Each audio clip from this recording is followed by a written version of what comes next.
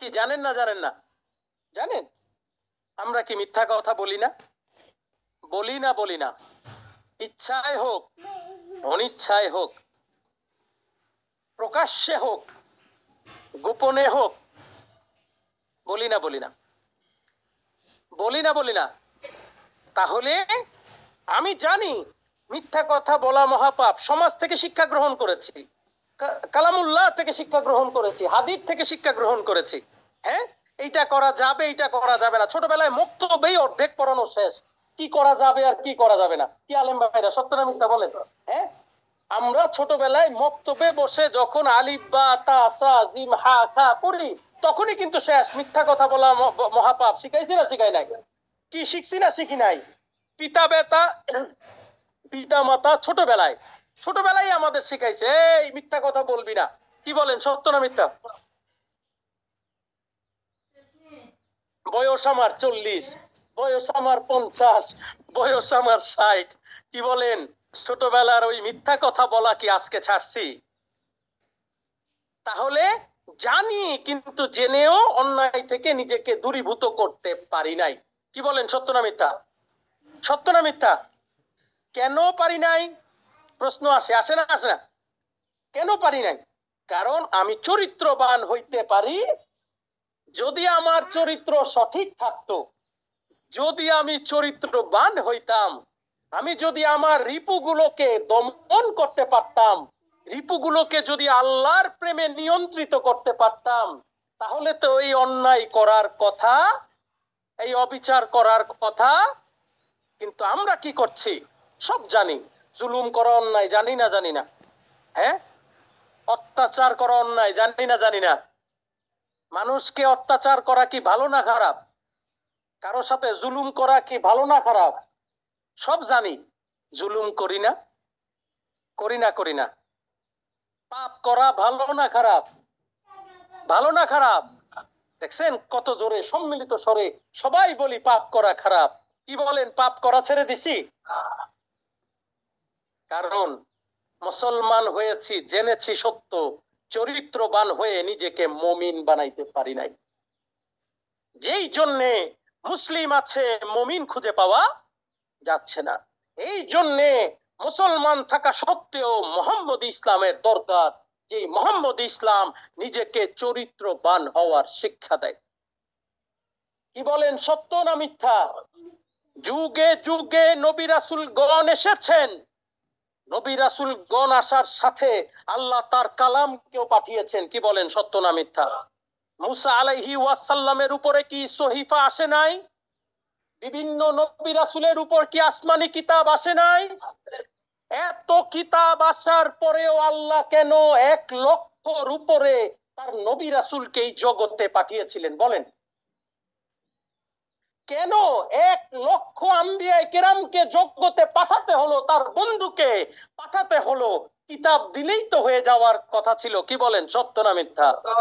আল্লাহ তালা যদি চাইতেন পবিত্র কোরআনুল করিমকে জগতে একবারে এনে হাজির করে দিতে পারতেন না পারতেন না। পারতেন না পারতেন না। কেন করেন নাই? এইটা তো সহজ ছিল। একবারে পাণ্ডুলিপি তৈরি করে বই আকারে এনে একটা কলম এইখান থেকে নড়বে না। সহজ ছিল না ছিল না? ছিল না ছিল না? এত কষ্ট করে তেইশ বছরে ঘষায় ধাক্কায় করে নবী মোহাম্মদের উপরে এত অত্যাচার, এত নিপীড়ন, এত জুলুমের পরেও তার কাছে কেন একটু একটু একটু একটু করে আমাদের কাছে দিলেন? কারণ কি জানেন? তাহলে আমরা শুধু ওই কোরআন ধরে বসে থাকতাম। মোহাম্মদ মুস্তফা আহমদ মুস্তফা সাল্লাল্লাহু আলাইহি সাল্লামকে ভুলে যাইতাম। কি বলেন? সত্য না মিথ্যা? সত্য না মিথ্যা? কোরআন দিলেন, আর বললেন কি জানেন? চরিত্রবান হইতে চাও, অনুসরণ করো কাকে?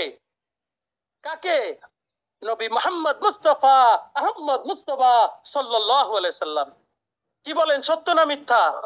বললেন, আমি জ্বলন্ত নূরের মতো, আর আমার নবী মোহাম্মদ জ্বলন্ত নূর। কি বলেন? সত্য না মিথ্যা? কেন দিলেন?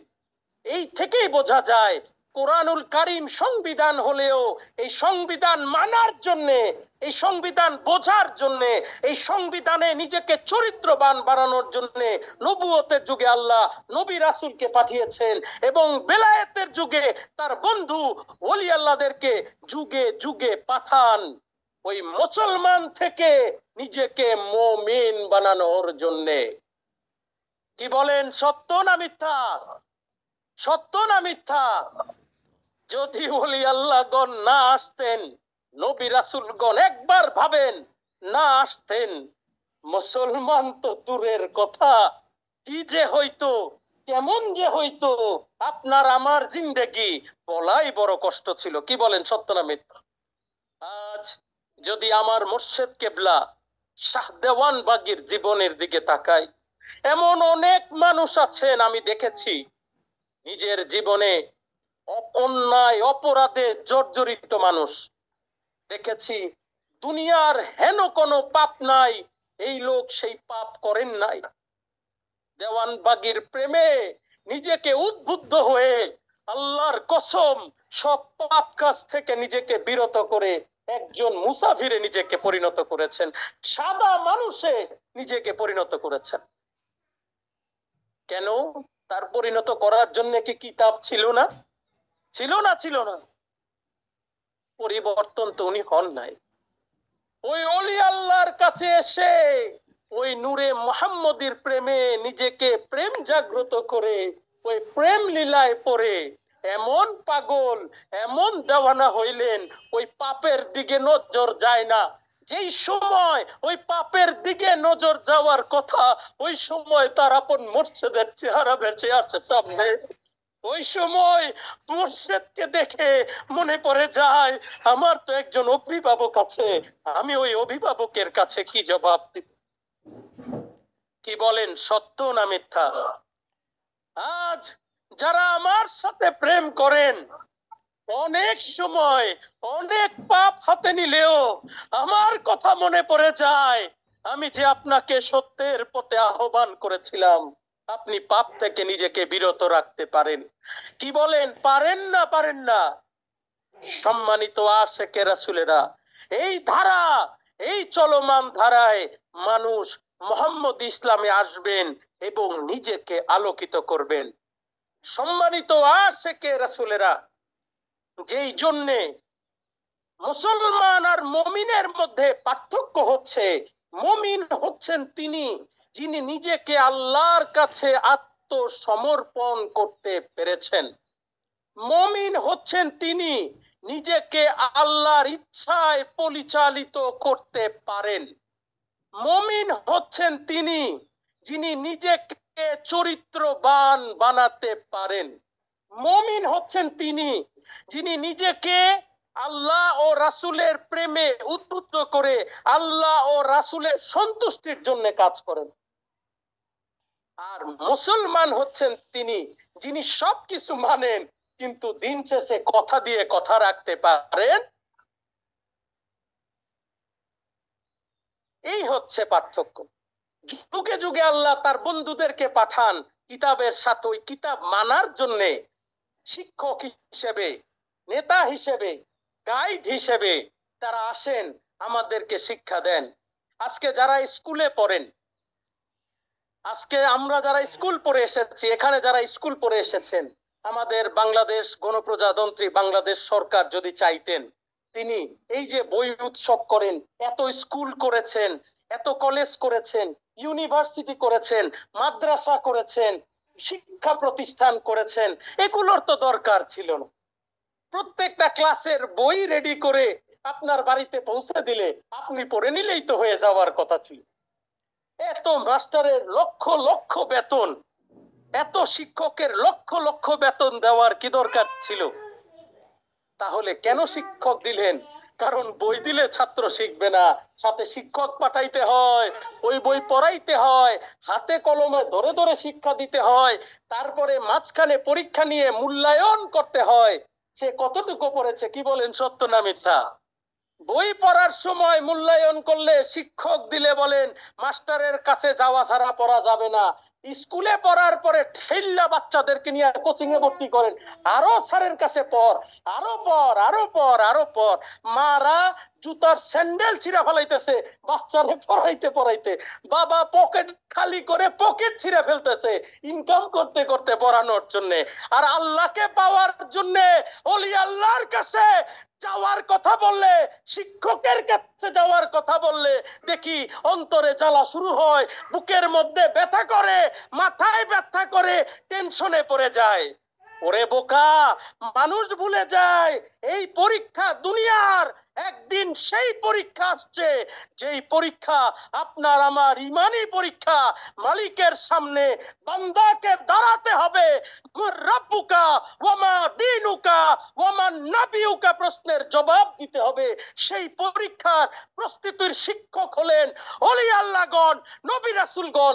তাদের কাছে পাঠাইতে হাত ব্যথা করে, পা ব্যথা করে, বুক ব্যথা করে, মাথা ব্যথা করে। তাহলে কি হবে না কি বলেন? কি বলেন, হবে? বাচ্চাকে স্কুলে পাঠানোর শিক্ষকের বেলায় আলহামদুলিল্লাহ, আর ইমানের শিক্ষকের কাছে পাঠানোর বেলায় নাউজুবিল্লাহ এই জন্যেই আল্লাহ তাআলা যুগে যুগে তার বন্ধুদেরকে পাঠান, মানুষকে চরিত্রবান বানাতে। যার চরিত্র নাই, তার ধর্ম আছে। কি বলেন, আছে নাকি? যার চরিত্র নাই, তার ধর্ম আছে। যিনি টুপি রেখে দাড়ি পরে কোরআনের হাফেজ হয়ে একটা চুরি করলেন, তার কাছে কি আর কোরআনের বাণী আপনি শুনতে যাবেন? যাবেন নাকি? একজন মানুষ বড় আলেম হয়ে একটা অন্যায় কাজ করলে তার পিছনে আর কোন লোক নামাজ পড়বে? পড়বে? শুধু আলেমের বেলায় না, একজন উকিলের বেলায় ধরেন না। সে মামলা করে করে যদি একের কোন কর্মচারীর বেলায় বলেন না সরকারি কর্মকর্তা কর্মচারী সাধারণ কর্মকর্তা কর্মচারী ব্যাংকেই জানিস ভাই চাকরি করে ব্যাংকে উনি যদি ব্যাংকের ম্যানেজার উনি একশো কোটি টাকা দেখার ক্ষমতা রাখে বলতে দুইটা কি ভাই পারেন না? দুইটা টাকা পকেটে নিতে পারেন? একশো কোটি টাকা থেকে দুই টাকা পকেটে নেওয়ার সুযোগ আছে। যদি দুই টাকা পকেটে নেন ওনার চাকরি থাকবে। থাকবে? সহজ। কেন? দুশ্চরিত্র বলে দিবে তাকে দুই টাকা পকেটে নেওয়ার সাথে সাথে। টাকার বিষয় না। জানিস ভাই বলছে চাইরা না। উনি বলছে, দুই টাকা না চাইরে না। বিষয়টা টাকার না। বিষয়টা হয়ে যাবে চরিত্রে, দুশ্চরিত্র। সেই জায়গার জন্য ফি না। কি বলেন? সত্য না মিথ্যা? তাহলে যার চরিত্র নাই, তাকে যত বড় ধর্ম, যত বড় ডাক্তার, যত বড় ইঞ্জিনিয়ারই বলেন, দিন শেষে সে কি? চরিত্রহীন ব্যক্তি। তার কাছ থেকে কেউ ধর্ম শিখবে, ধর্মে যাবে, তাহলে ধর্মের মূল কি বলেন? চরিত্র ঠিক না হলে ধর্ম ঠিক হবে না। অলি আল্লাহগণ মানুষকে চরিত্রবান হওয়ার শিক্ষা দেন। মোহাম্মদ ইসলাম মানুষকে কিসের শিক্ষা দেন? চরিত্রবান হওয়ার শিক্ষা দেন। যুগে যুগে প্রত্যেক নবী রাসূল একই ভাবে শিক্ষা দিয়েছেন। কি বলেন সত্য না মিথ্যা? প্রত্যেক যুগের বেলায়েত, নবুয়তের যুগের পরে বেলায়েতের যুগে ওলি আল্লাহগণ একই ধারায় মানুষকে চরিত্রবান হওয়ার শিক্ষা দিচ্ছেন। আমার কাছে যারা আসেন, বলেন, আমি কি আপনাকে চরিত্রবান হওয়ার শিক্ষা দেই কি দেই না? দেই কি দেই না? কোন অন্যায় পথে আপনাকে আগাইতে অনুরোধ করি? কোন অন্যায় কাজ করতে বলি? কোন অপরাধে যুক্ত হইতে বলি, নাকি নিজেকে চরিত্রবান হইতে বলি? আলহামদুলিল্লাহ, হাত নামান। তাহলে পার্থক্যটা এখানে, যে আমাকে চরিত্রবান হইতে হবে। যদি আমি চরিত্রবান না হই, তাহলে ইভেন আমার কাছে এসেও যদি চরিত্রবান না হন, তাহলে কিন্তু এই মোহাম্মদ ইসলাম আপনাকে মুক্তির সেই পথ দেখাতে পারবে? কথা কি পরিষ্কার? স্কুল থাকলে হবে না, স্কুল থাকলেই হবে না। ছাত্রর কি স্কুলে? পড়তে হবে নাকি? পড়তে হবে না হবে না? বিদ্যালয় আছে। দালান আছে, শিক্ষক আছে, বই আছে। আছে না নাই? এই জন্য কি এসএসসি পরীক্ষার রেজাল্টে দেখা যায় সবাই পাস করে? কি? সবাই পাস করে? জেএসসি পিএসসি সবাই পাস করে? না? একটা শ্রেণি পাস করতে পারে না, কেন পারে না? কেন পারে নাই? জোরে বলেন। পড়াশোনা করে, আপনি সিদ্ধান্ত নেন এই মোহাম্মদ ইসলামের তরিকায়। আপনি কি পাশ করার শ্রেণীতে যাইতে চান, নাকি ফেল করার শ্রেণীতে থাকতে চান? আলহামদুলিল্লাহ, হাত নামান। যদি পাশ করার শ্রেণীতে যাইতে চান, তাহলে শুধু কি আমার বক্তব্য শুনবেন আর আলহামদুলিল্লাহ বললে হবে? নাকি তা আমল করতে হবে? নিজেকে চরিত্রবান বানাইতে হবে না হবে না? হবে না হবে না? মিথ্যা কথা বলা ত্যাগ করতে হবে কি হবে না? অন্যায় করা ত্যাগ করতে হবে কি হবে না? জুলুম ত্যাগ করতে হবে কি হবে না? এটি তো চরিত্রের কথা বললাম। এইটা ত্যাগ করার জন্য জানেন, সবচেয়ে বেশি সাহায্য করে কি আপনাকে? হ্যাঁ আমল। চরিত্রবান হওয়ার জন্য সবচেয়ে বেশি আপনাকে কি সাহায্য করতে পারে? আমল। এবং আপনার আমার মোর্শেদ সাদাবান বাগি রহমাতুল্লাহ আলাই মোর্শেদের পথ, মোর্শেদ আমাদেরকে নির্দেশ দিয়েছেন মোরাকাবা করতে। করতে বলেছেন না বলেন নাই? বলেন তো, চরিত্রবান হওয়ার জন্য মোরাকাবার দরকার আছে না নাই? মোরাকাবা ছাড়া চরিত্রবান হওয়া যায়। নিজের দোষ ত্রুটি গুলোকে মাফ করা যায়। দোষ ত্রুটি গুলো খুঁজে বের করা যায়। আল্লাহর কাছে তার জন্য ক্ষমা চাওয়া যায়। তাহলে মোরা মোরাকাবার দরকার আছে না নাই? আল্লাহ নির্দেশ দিয়েছেন, সলাত আদায় করো।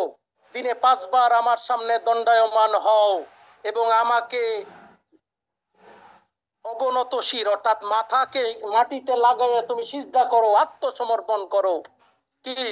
আর আমার মুর্শিদ বলেছেন, নামাজের মধ্যে পড়ো। রব্বানা আতিনা ফিদ দুনিয়া হাসানাতাও ওয়া ফিল আখিরাতি হাসানাতাও ওয়া কিনা আযাবান নার। কেন বলেছেন? প্রার্থনা করো নামাজের মধ্যে, দাঁড়াও আল্লাহর সামনে।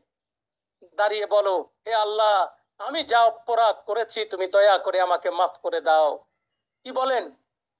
সত্য না মিথ্যা? সত্য না মিথ্যা? আর আমি বলি পাপ মুক্ত হওয়ার জন্য আরও সহজ রাস্তা। শুনবেন? শুনতে চান? প্রতি ওয়াক্তের নামাজে দাঁড়িয়ে পরের ওয়াক্ত নামাজ পর্যন্ত পাপ না করার সংকল্প করেন। ফজর ওয়াক্তের নামাজ শেষ করে আল্লাহর কাছে এমন নাজাতে বসে সংকল্প করেন, আল্লাহ, জোহর ওয়াক্ত পর্যন্ত আমি আর অন্যায় করব না। পারবেন? পারবেন? শেষ হয় নাই পারা। আর একটু পারা বাকি আছে। আমি জানি আপনি করবেন। আমি জানি আপনি পাপ করবেন। অসুবিধা নাই, ভয় পায়েন না। জোহর ওয়াক্তের সময়, ফজর ওয়াক্ত থেকে জোহর ওয়াক্ত পর্যন্ত যা অন্যায় করলেন, আল্লাহর কাছে বলেন, আল্লাহ, আমি আবার অপরাধ করেছি, পুনরায় তুমি আমাকে মাফ করে দাও। মাফ চাইতে পারবেন? ফজর থেকে জোহর পর্যন্ত নিজের কর্মের জন্য মাফ চাইবেন, পারবেন? জোহর থেকে আসর পর্যন্ত সময়ে যা পাপ করবেন তা আসর ওয়াক্তে গিয়ে ক্ষমা চাইবেন, পারবেন? হ্যাঁ?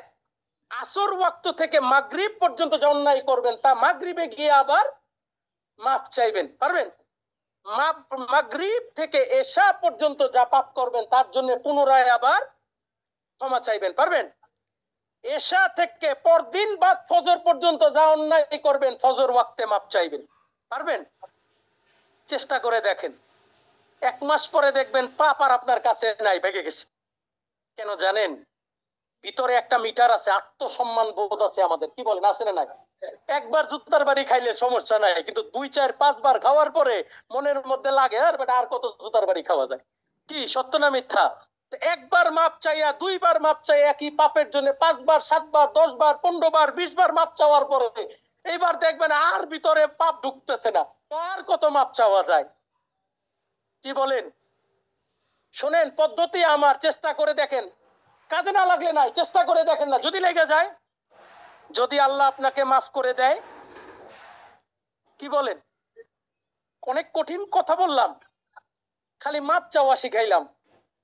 ইবাদতের বড় খেলাই তো মাপে, এইটাই তো কেউ বোঝে না। ইবাদতের বড় একটা খেলা হচ্ছে মাপে। আমি অনেকবার আমার বক্তব্যে বলেছি, আবারও বলছি সন্তানের সাথে, স্ত্রীর সাথে বাবা মার সাথে, দিনে কয়বার সরি বলতে হয় বলেন? কতবার সরি বলতে হয় বলেন? বহুবার। ভালো সম্পর্ক টিকায় রাখতে গেলে একটা ভুল করলে যদি সরি না বলেন, আপনার স্ত্রী সাত দিন কথা কবেন আপনার সাথে। কি? বলবে? আপনি যদি অন্যায় কইরা বাপ ধরে বসে থাকেন, স্ত্রী সাত দিন কথা বলবে? দশ দিন, এক মাসও হইতে পারে। বেশি রাগ হইলে দেড় মাসও কথা বলব। কি সত্য না মিথ্যা? আর যদি বউয়ের হাত ধরে বলেন আচ্ছা ভুল হয়ে গেছে। আগামীতে এটা সংশোধন করার চেষ্টা করব। আর এইটা কি সাত দিন থাকবেই গন্ডগোল? নাকি সাত মিনিটও টিকবে না? সত্য না মিথ্যা? আবার স্ত্রীর বেলায়ও স্বামীর সাথে একই রকম। স্ত্রী একটা অন্যায় করল। তারপরে যদি গরম দেখায় বসে থাকে, স্বামী কি মাফ করবে? হ্যাঁ রে বেটা, যা, তুইও নাই, আমিও নাই। কি সত্য না মিথ্যা? সেই স্ত্রী যদি স্বামীর একটু বুকে জড়ায় ধরে একটা চুমু খাইয়া বলে, আমার ভুল হয়েছে, আগামীতে আমি এটা সংশোধন করে নিব। কি সাত মিনিটটার এই রাগ থাকবে? সত্য না মিথ্যা বলেন? স্বামী, স্ত্রী একই রকম বাচ্চা। আজকে ছোট আজকে আমার ছোট বাচ্চাটা। একজনরে আমি একটু আদর করে ডাক দিয়ে একটু বুকে জড়াই ধরছি। পিচ্ছিটা সাড়ে তিন সাড়ে তিন বছর বয়স। সে রাগ করছে। সে আমি রুম থেকে বেরোছি বাবা, তুমি তাকে কেন হাত দিলা? সে হপ মেরা বসে রয়েছে ওই যে তার হিংসা লাগছে। আমার বাপ কেন আর একজন হাত দিল? বুঝছেন না অবস্থা? ছোট বাচ্চা তো, সে তো আর এটা বোঝে না। তুমি কেন তাকে হাক দিলা? এখন আমি কি করি বলেন? ছোট মেয়ে রাগ করছে। মেয়েটারে বুকে জড়াই ধরে বললাম আচ্ছা বাবা, ভুল হয়ে গেছে সরি আর দিব না, তোমাকেই হাক দিব। সে কিন্তু ঠান্ডা। কি সত্য না মিথ্যা? এটা আমার একা না আপনাদের জীবনে এরকম হয় না ভাই। প্রত্যেকটা বাবা মার সন্তানের জীবনে এরকম আছে না না হ্যাঁ? বাচ্চারে সরি বললে ঠিক আছে, বউরে সরি বললে ঠিক আছে, অথচ আপনার, আমার মালিক, সৃষ্টিকর্তা, তার কাছে কয়বার সরি বলি? কি গো বাবা? বলেন না। যে আল্লাহ আসমান দিছে, জমিন দিছে, মাটি দিছে, উৎস দিছে, জন্ম দিছে রিজিক দাতা পালন কর্তা লালন কর্তা রক্ষা কর্তা সেই আল্লাহর কাছে দিনে কয়বার সরি বলি বলেন? কয়বার ক্ষমা চাই বলেন? আর কতবার পাপ করি বলেন? জুলুম কি শুধু মানুষের সাথে করা যায়, মালিকের সাথে করা যায় না? যায় না যায় না। যায় না যায় না। বলেন, মালিকের সাথে এই জীবনে কত লক্ষবার জুলুম করেছি আমরা? করেছি না করি নাই? মালিকের সাথে এই জীবনে কত হাজার বার অন্যায় করেছি করেছি না করি নাই? কয়বার ক্ষমা চাইলাম? হাজার বার যদি এক হাজার বার অপরাধ করে থাকি একশো বার ক্ষমা চাইছি কিনা সন্দেহ আছে? কি বলেন সত্য না মিথ্যা? বলেন, নিজের বাবার চেয়ে কি আল্লাহ বড় না ছোট? নিজের স্ত্রীর চেয়ে আল্লাহ বড় না ছোট? সকল কিছুর চেয়ে আমার মালিক বড় না ছোট? তার কাছে সরি বলতে কেন লজ্জা লাগে? কেন লজ্জা লাগে?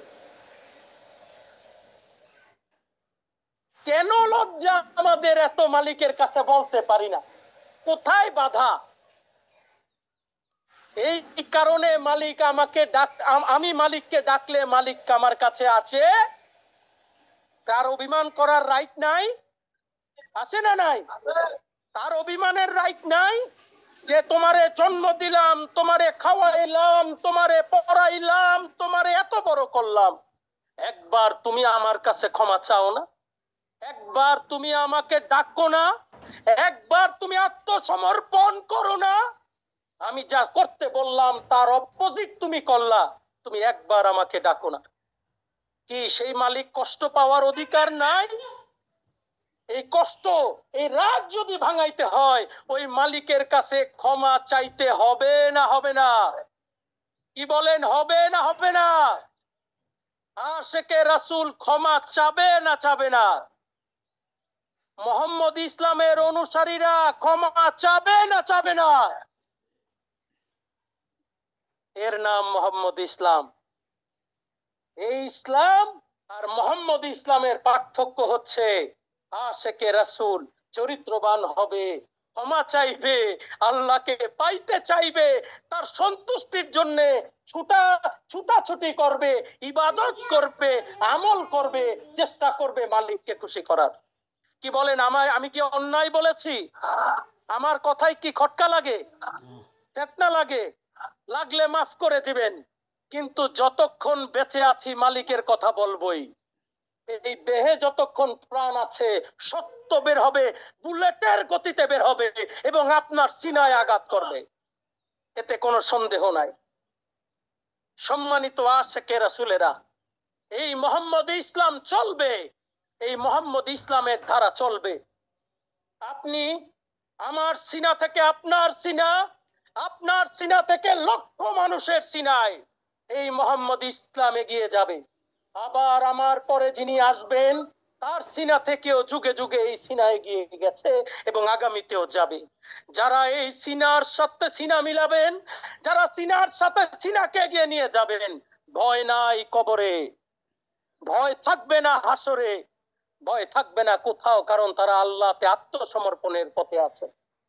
আর যারা তা না করবেন, তারা রাস্তায় ভয় পাবেন, তারা বাড়িতে ভয় পাবেন, তারা এলাকায় ভয় পাবেন, নিজের ঘরের মধ্যে ভয় পাবেন, কখন মালাকুল মৌত আসলো। আমিও ভয় পাই সেই দিন, যেই দিন আপনার আমার একসাথে চোখ বন্ধ হয়ে যাবে। আমিও স্মরণ করি সেই দিন যেদিন আপনি আমাকে কাঁধে তুলে বিদায় দিবেন। শেষ সময়ের জন্য। এবং আমার মালিক আমাকে দায়িত্ব দিয়েছেন। ওই সময় আসার আগে যত পারি তার পথে মানুষকে আত্মসমর্পণ করিয়ে তার রাস্তায় দিয়ে যেতে পারি। আমি প্রাপ্ত দায়িত্ব পেয়েছি মালিকের কাছ থেকে আপনাকে, আল্লাহ রাসুলকে পাওয়ানোর জন্য। এই জন্যে নিজের কথায়, নিজের কাজে প্রতিনিয়ত চেষ্টা করি আপনাকে সেই পথে আহ্বান করতে, যেই পথে আমার মালিক খুশি থাকেন। সেই পথে আহ্বান করতে, যেই পথে আমার মালিক চান আপনাকে দেখতে যে আমি তোমাকে এই পথে দেখতে চাই। তাই আসুন আমরা সবাই নিজেকে চরিত্রবান বানাই। আসুন আমরা সবাই নিজেকে আলোকিত করি। আসুন আমরা সবাই নিজেকে আল্লাহ ও রাসূলের পথে ধাবিত করি। মহান রব্বুল আলামিন, আমাদেরকে সেই তৌফিক দান করুন। সবাই বলুন আমিন। অনেক আলোচনা করেছি, তবে ছোট্ট একটি বিষয় বলতে চাই, আপনারা জানেন, আমাদের সম্মেলন কবে বলেন? তেইশে ফেব্রুয়ারি বিশ্ব আশেকে রসুল সাল্লাহ সাল্লাম সম্মেলন। এই সম্মেলন মোহাম্মদ ইসলামের আশেকে রাসুলদের মিলন মেলার অনুষ্ঠান। আমি অলরেডি অনলাইনের মাধ্যমে আপনাদেরকে দেখেছি।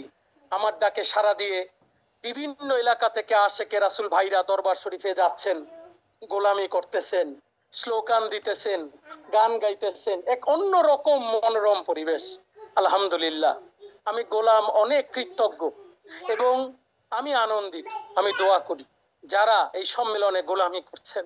এই গোলামি রুসিলা আল্লাহ যাতে আপনার ওই কালো অন্তরটাকে পরিষ্কার করে দেয়।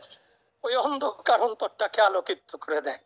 যারা সম্মেলনে গোলামি করছেন, আমি দোয়া করি, আল্লাহ আপনাদের ওই সিনাটাকে আলোকিত করে দিয়ে তার প্রেমে উদ্ভাসিত করে দেয়। আমি বলেছিলাম, এই সম, গত বছর সম্মেলনে আমার উপরে অনেক বড় একটা অর্থনৈতিক চাপ পড়েছিল।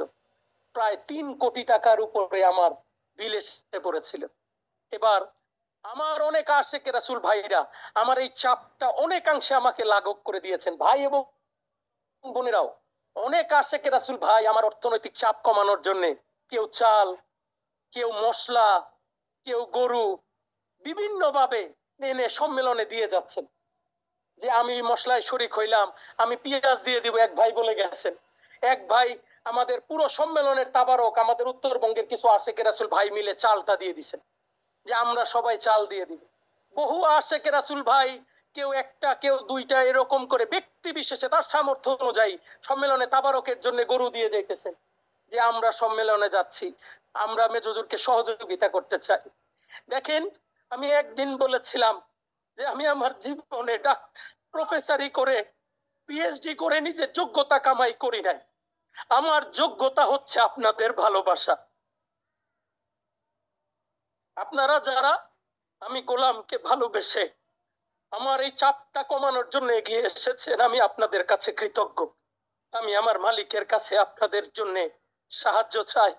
আমার মালিক আপনার এই কতিপয় চেষ্টাটাকে কবুল করে নেয় এবং আমার মালিক আপনাদেরকে মাফ করে দেয় এবং আপনাদের এই শরিকের ওসিলায় আল্লাহ আপনাদের ক্ষমা করে দেয় যে এক টাকা শরিক হয়েছেন, যে একটি বাস আমি অবাক হয়ে গেছি, আমার বোনদেরকে দেখে তারা তাদের বাস ঝাড়ের বাস কেটে নিজের হাতে কেটে সম্মেলনের জন্য বাবে বরকতে বাস পাঠাইতেছে।